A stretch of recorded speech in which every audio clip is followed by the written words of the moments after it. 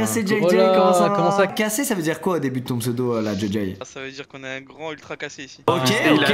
Quels sont les noms des joueuses Valorant Mel, cassées Mel, Mel. Ninou, Nello. Matrix, Et Lyrilia. plus qu'un. Super, super. Les Aïe, gars, aïe, on aïe, est encore premier. Non, franchement, la squad, elle est folle, frérot. JJ, on va te prendre en joueur M8, hein, ça te dérange pas. Ah, je peux pas, les gars. Je crois qu'il t'a pas dit le, le montant. C'est 10 000 euros par mois. Quoi Go, du coup, mate? JJ Let's Voilà go Même les ultra cassés ont un prix